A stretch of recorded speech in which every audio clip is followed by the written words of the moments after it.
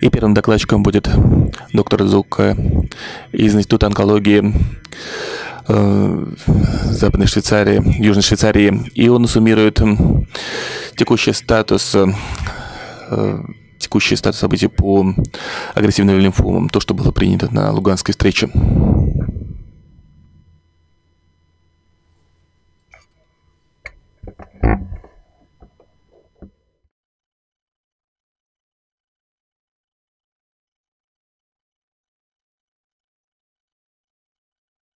This is a, a very oversimplified summary.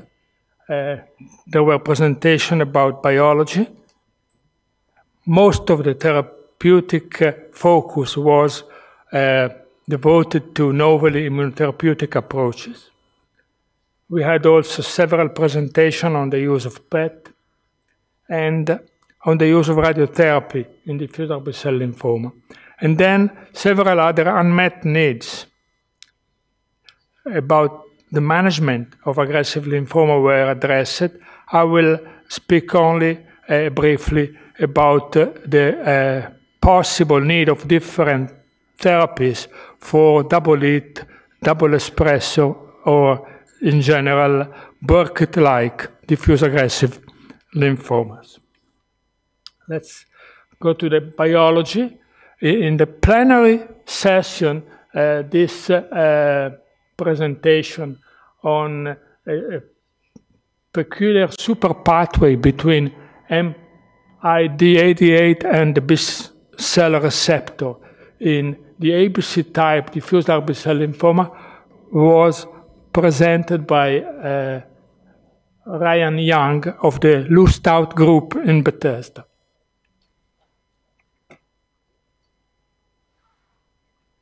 As uh, you may know, uh, ABC type diffuse large B-cell lymphoma, which are carrying both mutation of the MYD88 and wild type CD79, do not respond to ibrutinib, whilst the patient with double mutation did respond well. And it has then been suggested that there might be a functional interaction between the B-cell receptor and MYD88 pathways. This has been elucidated in this presentation uh, at, uh, by Dr. Ryan Young at ICML, and they show that the uh, cases with double mutation are actually producing a sort of super complex downstream of the B-cell receptor, which is a, a group in CARD11, MALT1, and BCL10 genes. And this super complex is probably the reason of uh, having a, a continuous over expression of NF-kappa B and then uh, a particular sensitivity for double mutant uh, patient to ibrutinib. Moreover, this can be in the future be applied as a biomarker for ibrutinib sensitivity, which is probably the most important clinical take-home message from this presentation. Now let's go to the immunotherapy. There were two awards given during the conference to uh, Professor Shipp from Boston and to Professor Levy from Stanford. Ronald Levy is one of the pioneers of uh, anti-idiotype vaccination as a therapeutic strategy in lymphoma, with the, uh, the with Professor in her uh, lecture uh, directly addressed the uh, mainly addressed the, the possibility of using the PD-1 pathway for the therapy of lymphomas. As you may know, uh, the block of PD-1 uh, may remove uh, an immune escape of tumor cells and uh, in Hodgkin lymphoma and in primary mediastinal large B-cell lymphoma, this has a specific genetic reason because the ligand of PD1 is expressed because it's overexpressed or amplified because of a specific genetic alteration at gene 9p eh, at chromosome 9p24. Margaret Shipp elucidated uh, the mechanism in representation of PD-1 ligand overexpression in, in lymphomas that can be related to alteration in copy number, to chromosomal translocation, and viral infection. The alteration in copy number and chromosomal translocation are typical of Hodgkin lymphoma, primary mediastinal lymphoma, and have been recently described also in primary lymphoma of the brain and the testis. Why we have PD1, the negative PD1 signaling in, in our normal immune system regulation? This is physiological need to downregulate the immune response when uh, an infection is eliminated, to limit the strength of the immune response to avoid damage of uh, uh, tissues and to maintain immune tolerance when this is required.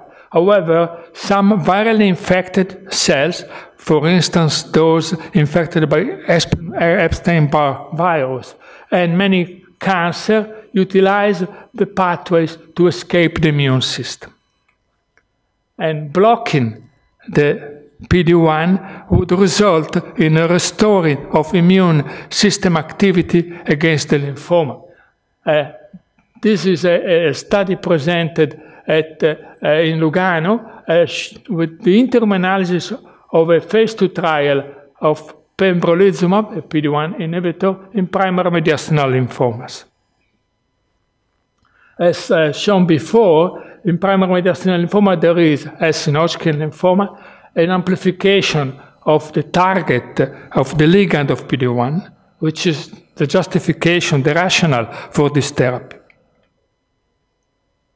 And uh, also in phase one, in prior phase one clinical trials, a, promising activity has been seen.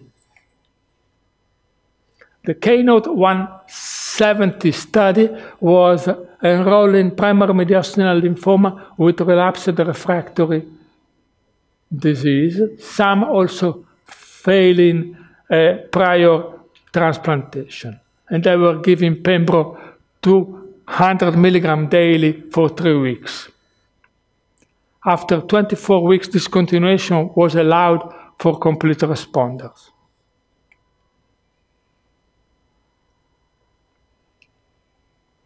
You see that uh, at this interim analysis, efficacy is well evident with an overall response rate of 40% and with a relevant number of cases showing a reduction higher than 50%, but 70% of cases had uh, some uh, clinical benefit.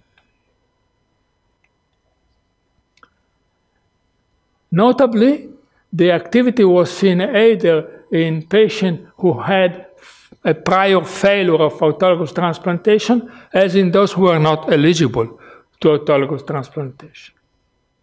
And toxicity was uh, relatively manageable with no treatment-related deaths and only one patient who had treatment discontinuation because of therapeutic, uh, because of side effect of the therapeutic uh, approach.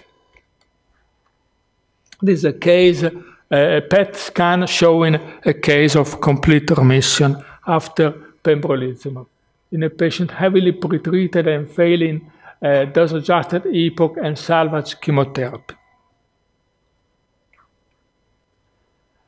So at present, PD-1 inhibition may uh, represent an option for relapsed refractory disease. You may uh, be aware that this is a relatively rare subtype of diffuse large B-cell lymphoma, which is highly curable. Uh, over 90% of patients may get a, a, sustained, durable, complete remission with standard chemo uh, and immuno uh, immunochemo and, and, radiotherapy. However, the prognosis for the few failing is particularly poor, and they usually do not uh, cannot be salvaged with uh, autologous transplantation. And uh, we presented a, a potential uh, approach for identifying early the patient who may not respond to standard therapy using uh, PET, uh, the PET scan, using uh, uh, analyzing the functional PET parameters in this population.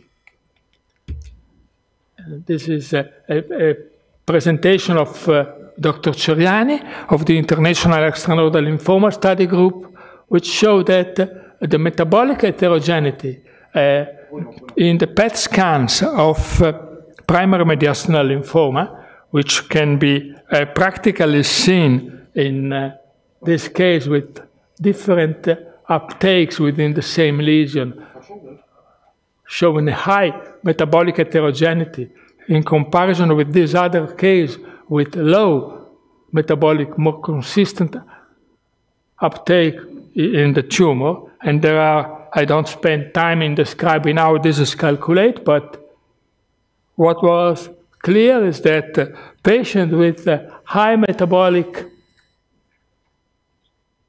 heterogeneity behave quite poorly. And when we combine the total glycolysis, total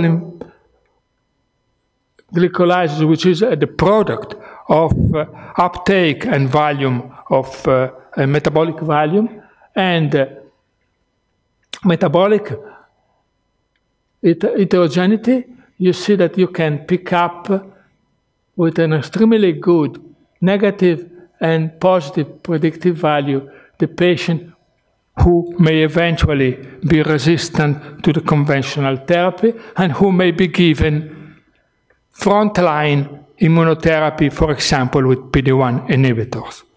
And let's go back to immunotherapy again and speak about the two uh, studies using the uh, CAR T cell approach for uh, the therapy of uh, resistant relapsing diffuse large B-cell lymphoma.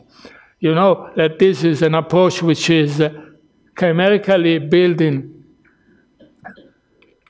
T cells which are genetically engineered to attack cells which are present in the CD19 molecule on the surface, uh, which is another way to describe all the B cells.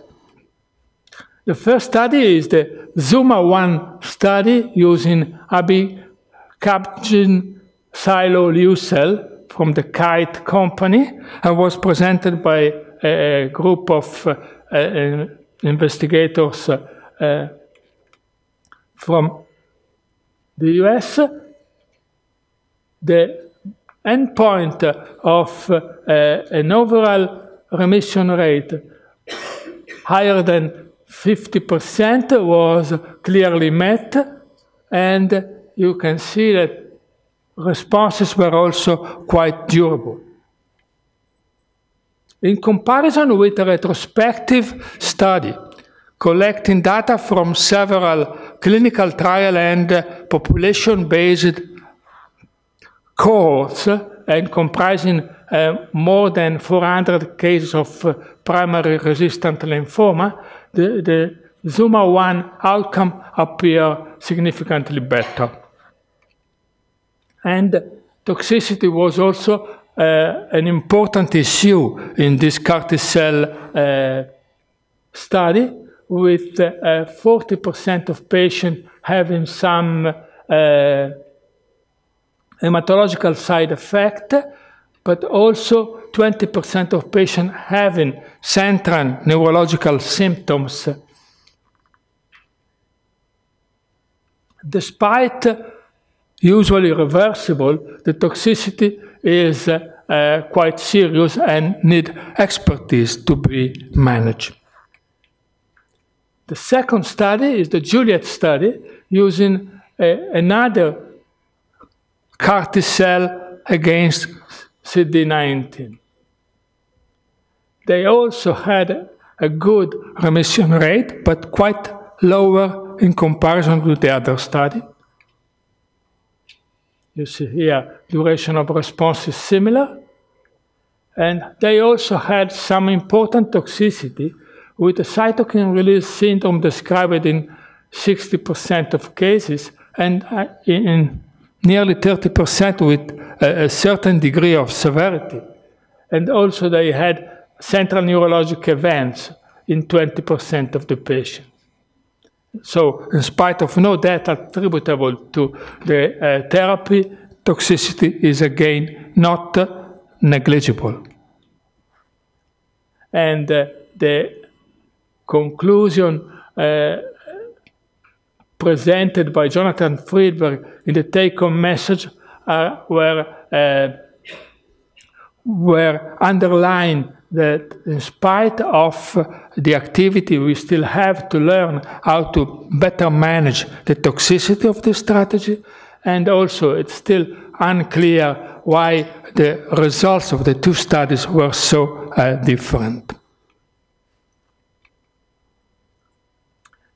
Two additional presentations dealt with the use of radiotherapy. The first one is from a French cooperative group which uh, randomized a patient with uh, early uh, non-bulky disease between R-CHOP 14 only an R-CHOP 14 plus radiotherapy. After four cycles, patient had a PET scan and patient with partial remission had two additional cycles of chemotherapy. Radiotherapy was given with a dose of 40 grays, and 165 patients were assigned to the R-CHOP arm, 169 to the R-CHOP plus radiotherapy. You can see that both event-free survival, the main endpoint, and overall survival were not significantly different between patients with and without radiotherapy in this study. And also the uh, median time to relapse was not significantly different, as well as the number of deaths.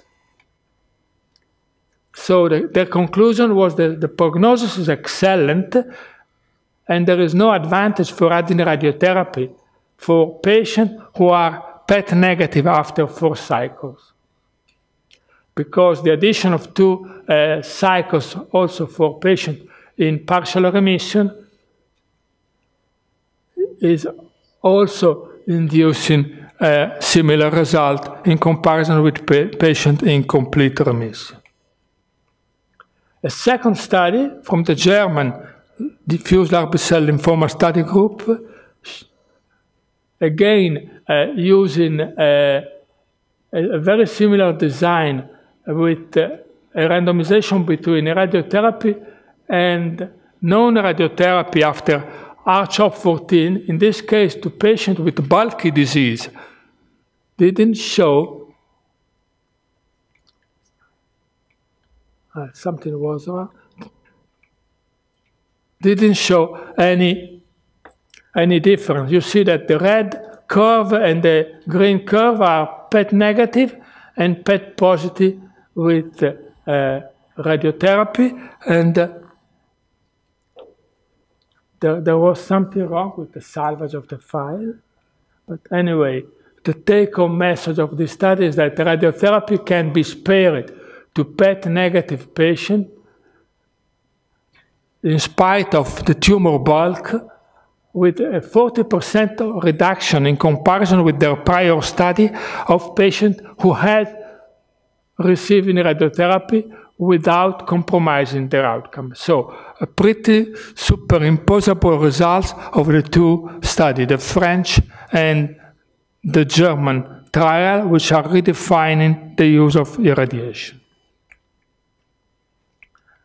Last point uh, is uh, uh, whether we can have subset of patients where we need to do something more than just R-CHOP.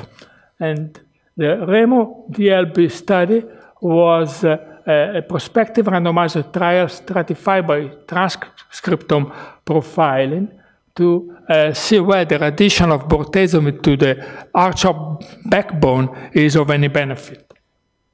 And uh, uh, the uh, results by type of subtype of lymphoma were presented by Professor Davis, and you see that there was no significant difference in patient receiving or not bortezomib on top of R-CHOP in the three subtypes. Uh, ABC, germinal center B, and unclassifiable diffuse large B-cell lymphomas progression-free survival was similar for patients with bortezomib and patients without, as well as overall survival. And uh, there were no difference when the individual subtypes was also analyzed for both event-free and overall survival. You see here in the entire population, germinal center B in green, unclassified. Центров, она обозначена зеленым, неклассифицируемая желтым и ABC бакличная лимфома красным. Здесь нет разницы без прогрессивной выживаемости. Тем не менее,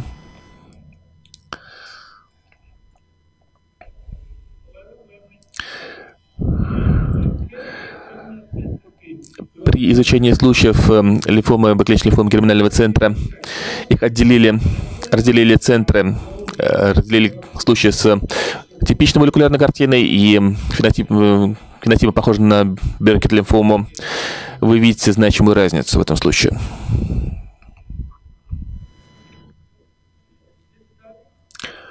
Итак, в данном исследовании добавление бартозамиба не изменило результаты в общей популяции в рамках протокола.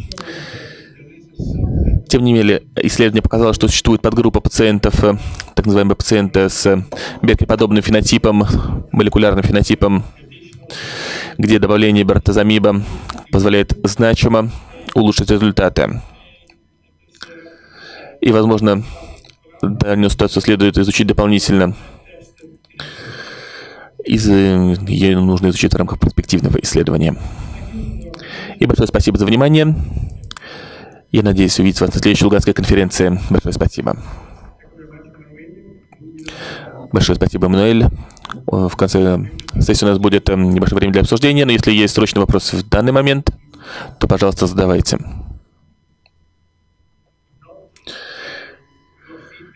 Если нет, то вы увидели, что Э, технологии становятся, молекулярные технологии становятся все более важными, и также ПЭТ играет все большую роль при агрессивных лимфомах.